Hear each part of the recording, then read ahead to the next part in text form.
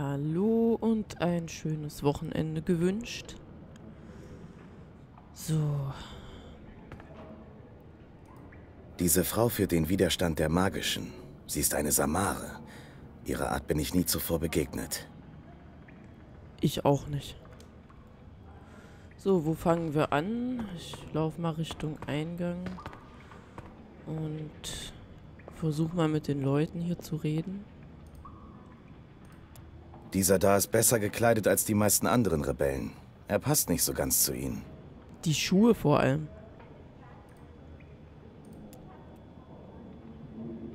Hoi, Alvane da. Es ist eine Ehre, eure Augen zu erblicken. Da ist in Assadi ein Ehrentitel und Hoi ein üblicher Gruß.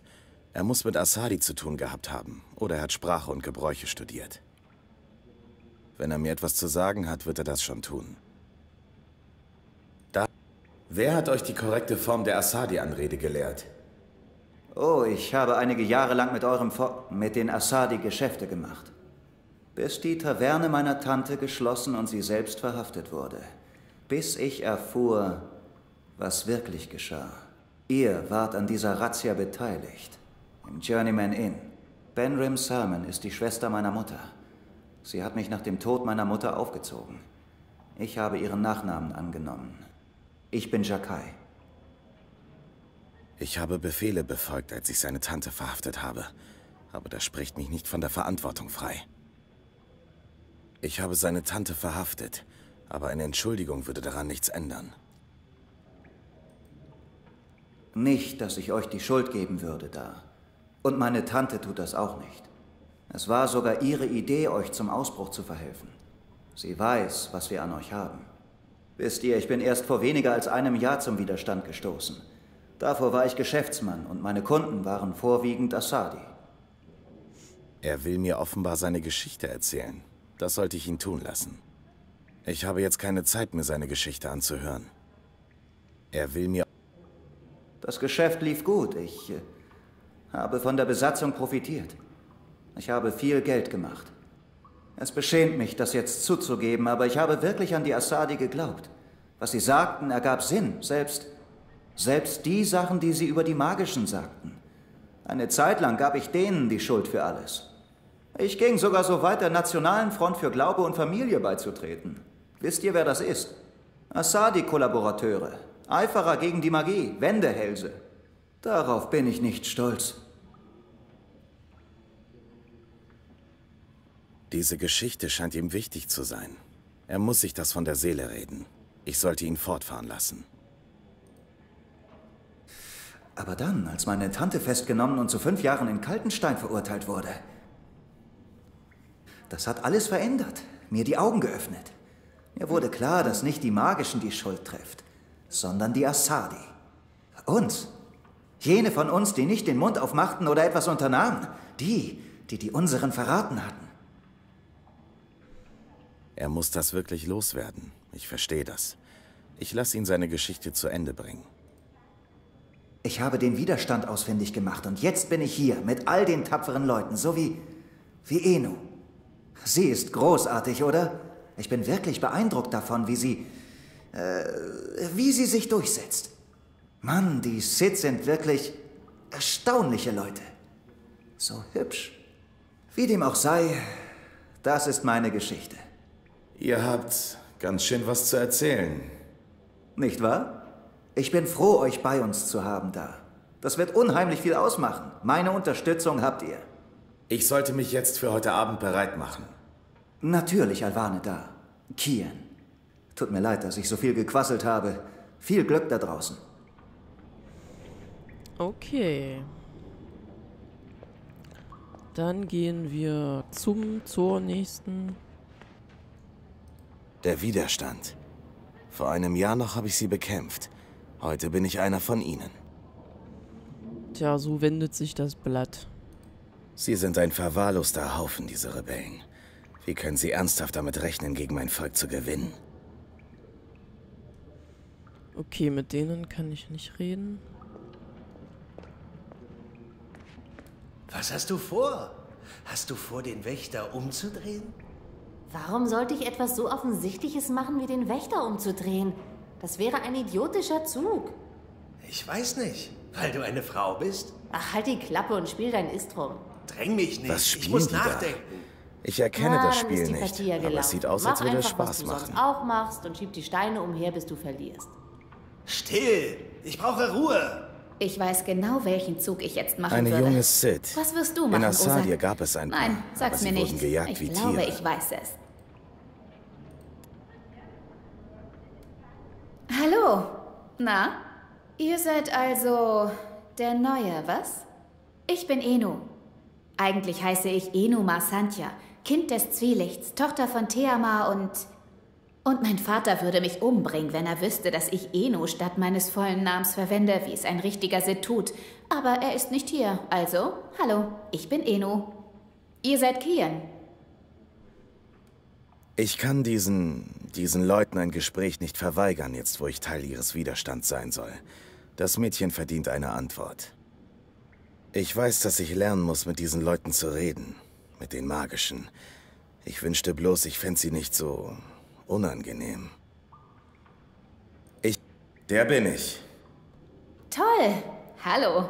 Asadi, was? Das ist... Ja, toll. Bin nie bei Ihnen gewesen. Ist es nett dort? Ich habe gehört, es soll nett sein. Wenn Sie nicht, ihr wisst schon, Krieg führen und Magische ermorden. Erobern und morden. So sieht sie mein Volk also. Als ob die Sith kein Blut an ihren Händen hätten. Könnte sie Assadir so sehen, wie ich es sehe, dann wüsste sie, dass es noch viel mehr gibt. Aber welchen Sinn hätte es, wenn ich versuchen würde, sie zu überzeugen? Das ist alles, was sie von Assadir weiß. Vielleicht ist es nicht so überraschend. Diese Leute sehen nur Soldaten, Eroberer und Besatzer, geführt von Verbrechern. Es liegt in meiner Verantwortung, dass unsere Geschichte vollständig erzählt wird.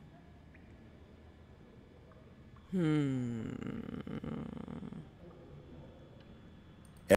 Was wollt ihr? Ich wollte mich euch bloß, ihr wisst schon, mal präsentieren. Mich vorstellen, euch. Nicht mich präsentieren, das ist ja, das ist unangebracht, Tochter von Theamar.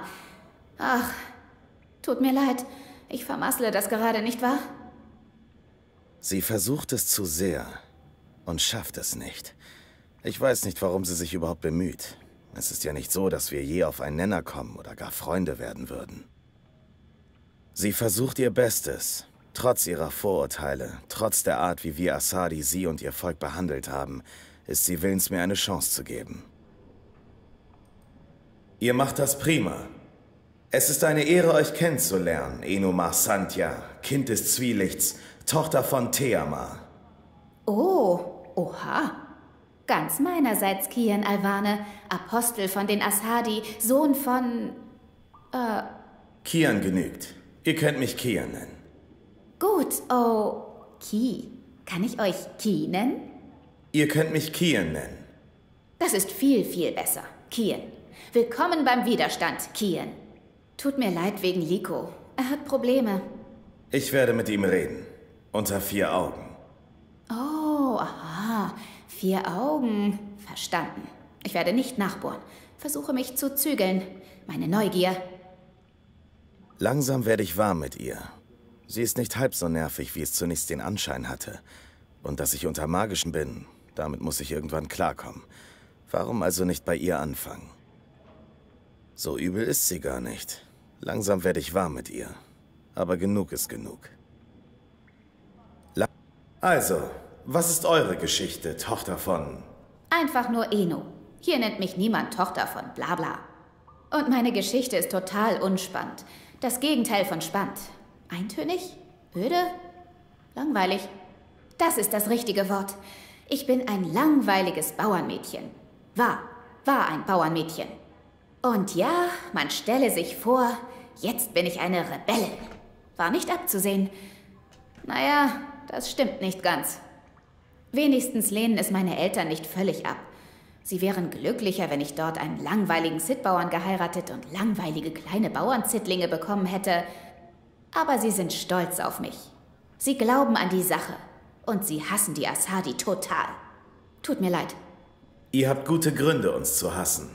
Ja, naja, ich bin nicht sicher, ob ich dorthin zurück kann, wenn das alles vorbei ist. Auf den Hof, meine ich. Ich mag es, für etwas zu kämpfen. Ich mag es, ein Ziel zu haben und nicht nur Landwirtschaft zu betreiben, eine folgsame Tochter zu sein, jemand, der Sittlinge aufzieht. Offensichtlich. Ich gebe wirklich keine gute Sid-Ehefrau ab. Ich wäre die schlechteste. Tut mir leid, ich quassle euch hier völlig zu. Dabei wollte ich nur mal Hallo sagen und dann Blurk. Also, ähm, Hallo. Und hey, viel Glück heute Abend. Naja, ich werde mit euch kommen, aber trotzdem. Schluss jetzt. Go.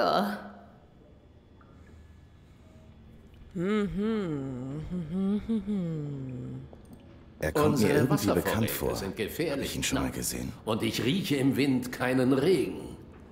Du wirst heute Abend den Um die Felsen hochsteigen sagen, müssen, Sie um machen die Fässer vielleicht nicht viel her und haben kaum Ressourcen. Nimm Anik mit. Aber sie werden nicht Ina aufgeben, auch. bis die Assadi weg Beide sind. wollten Oder unbedingt ihr was Widerstand tun. ausgelöscht wurde. Sie wird Wache stehen, während ihr Der zwei die Widerstand. Fässer hochzieht. Vor einem Jahr noch habe ich sie bekämpft.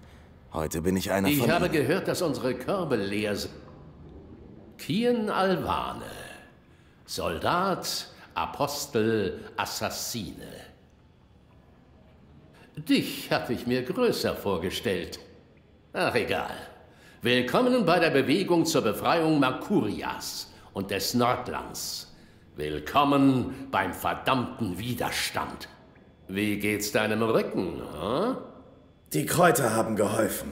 Tja, sie versteht ihr Handwerk, unsere Sidmari-Sanitäterin. Und sie war besorgt um dich. Hat bei dir gesessen, bis dein Fieber weg war, ist dir nie von der Seite gewichen. Ich würde ja sagen, äh, sie hat sich in dich verguckt. Aber das war es nicht. Eher als hätte sie, als hätte sie eine Schuld beglichen. Ich bin der General, ja? Hab das Sagen hier. Wenn du ein Problem mit der Logistik hast, kommst du zu mir. Deine Koje ist nicht hart oder weich genug, der General ist dein Mann. Unzufrieden mit den Rationen? Geh zum General.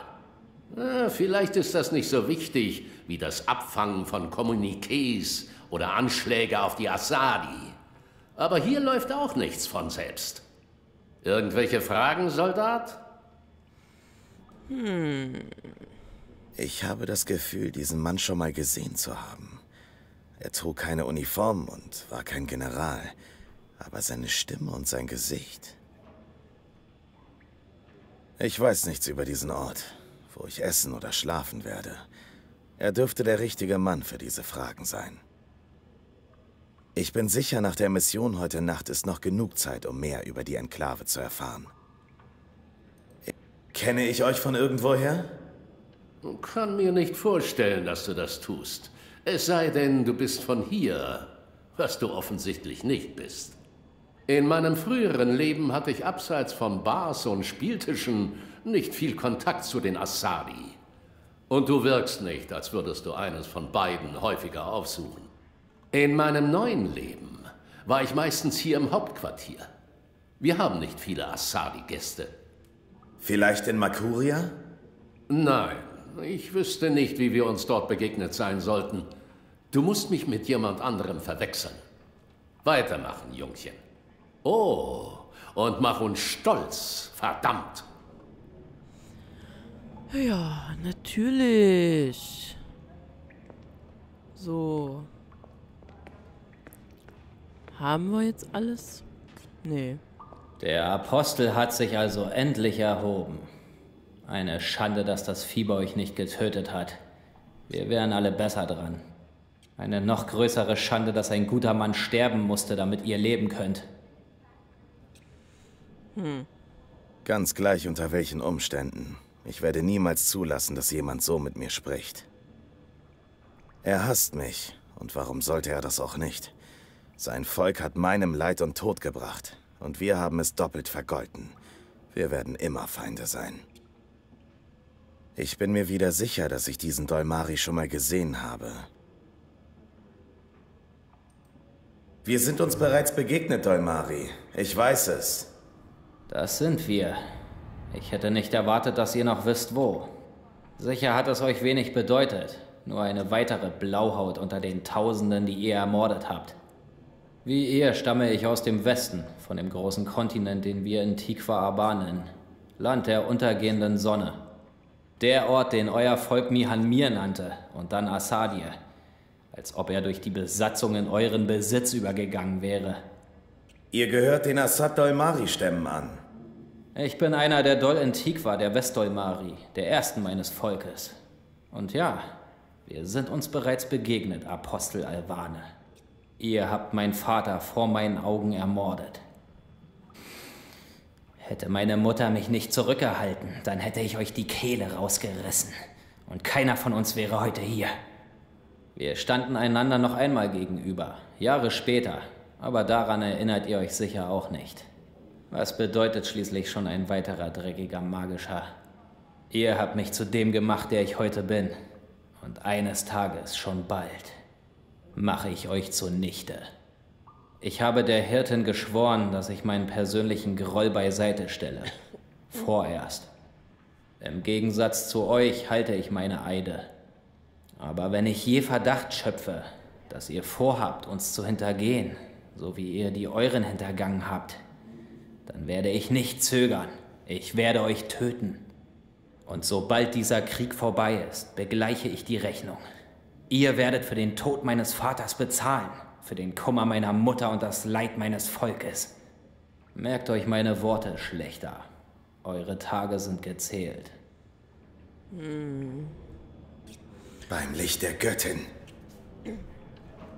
Okay, also jetzt kann ich so ein bisschen nachvollziehen, dass der so pissig auf uns ist. Get your mission from Shepard? Keine Ahnung. Wer ist denn das jetzt schon wieder? Ist sie das? Ja. Seid ihr bereit, Kien? Ja, bin ich. Muss ich. Gut. Liko und Enu kommen mit euch. Sie werden euch sagen, was ihr heute Abend tun müsst. Was meinen die, wie ich in die Stadt gelangen soll, ohne von meinem Volk erkannt zu werden, auch wenn es Nacht ist? Sind sie so dumm oder arrogant, dass ihnen das nicht in den Sinn kommt? Hm. Wenn ein Asadi-Soldat mich sieht, gibt er sofort Alarm. Nach mir wird gefahndet. Mir ist noch nicht klar, was ich für sie tun soll, wenn ich in der Stadt bin. Da ich als Verbrecher gesucht werde, würde jeder Asadi-Soldat, der mich sieht, Alarm geben. Aber sie haben sicher einen Plan. So dumm und arrogant können sie gar nicht sein. Ja, das würde ich jetzt auch einfach mal sagen. Bevor ihr geht, müssen wir noch etwas erledigen. Ihr seid flüchtig und die Asadi passen gut auf. Sie würden euch erkennen. Deswegen hat unsere Sidmari-Zauberin das hier hergestellt. Magie? Hier kommt man nicht ohne aus. Wenn ihr uns helfen wollt, müsst ihr das trinken, fürchte ich. Ein Bakshevanischer Maskierungstrank? Nicht ganz, aber gut geraten. Ein Maskierungstrank würde keine Stunde lang anhalten. Das ist ein irrhadianischer Schleier. Er bleibt tagelang wirksam. Er... Er lässt alle ungeübten Blicke abgleiten. Solange ich mit niemandem spreche, werden die Wachen mich nicht einmal wahrnehmen. Für sie werde ich wie ein Schatten sein. Das ist sehr starke und sehr kostspielige Magie. Nicht leicht zu bekommen. Oh, ihr kennt euch aus mit Tränken. Bevor ich Apostel werden konnte, musste ich mich mit Magie ebenso gut auskennen wie die, die sie einsetzen. Man muss seinen Feind kennen. Das wird euch sicher von Nutzen sein. Trinkt ihn, bevor ihr an Land geht, und der Schleier wird euch verbergen. Seid trotzdem vorsichtig. Sprecht nicht mit den Asadi-Wachen oder Sympathisanten, erregt keine Aufmerksamkeit. Aber denkt daran, wer euch gut kennt, der kann immer durch den Schleier blicken. Liko und Enu warten unten an der Treppe auf euch, im verborgenen Hafen. Aber so könnt ihr nicht nach Makoria. Ihr müsst euch was anziehen. Ich habe euch Kleidung aufs Bett gelegt. Ich denke, sie sollte euch passen. Yeah, yeah, yeah, yeah, yeah, yeah. Gut, dann ziehen wir uns mal um. Die sind ja wirklich sehr fürsorglich. Eigentlich total nett. Aber wir brauchen, also die brauchen uns ja auch, ne? Glaubst du, was bauen die Asadi? Überall diese Maschinen und Metallröhren. Ich habe gehört, Sie haben mir frische Kleidung hingelegt. Die Frage ist, wird sie passen? Na klar. Ja, klar, das muss es sein. Wir riskieren unser Leben, um mehr über die Ja, Kinderarbeit sieht doch ganz schick aus. Wenn wir wa- Du Volltrottel. Stylisch, Oh, stylisch. wir haben euch gar nicht gesehen. Och, Ich hoffe, eure Mission heute Abend wird ein Erfolg.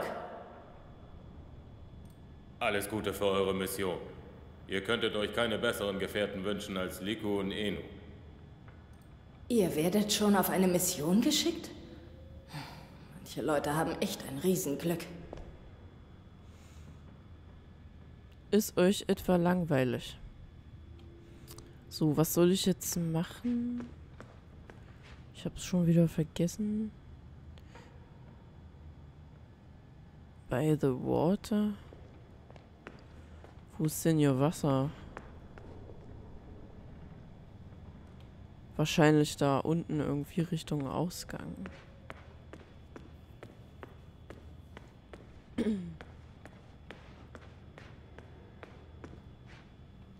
Ja, das sieht doch schon mal so aus.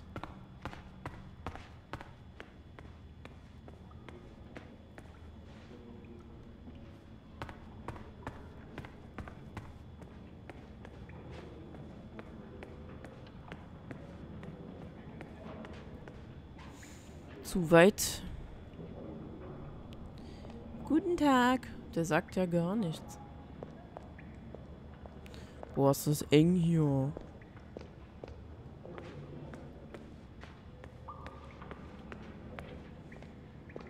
Guten Tag. Werdet ihr seekrank? Was? Oh, ich wollte nur wissen, ob ihr gleich anfangt, uns voll zu kotzen. Das ist alles. Ich bin schon mal auf einem Boot gewesen. Gut, dann macht's mir nichts aus, neben euch zu sitzen. Wir haben genug Zeit verschwendet. Wir müssen los. Ich informiere euch über die Mission, sobald wir unterwegs sind. Nach euch, Kian. Okay.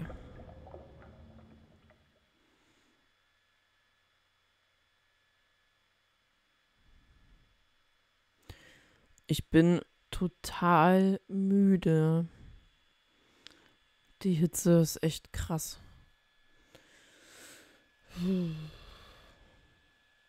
Naja, und dadurch, dass ich in einer Dachgeschosswohnung wohne, könnt ihr euch ja wahrscheinlich vorstellen, dass es bei mir nicht unbedingt wärmer ist, äh, kühler ist als draußen. Ja. Vielleicht ein paar Grad,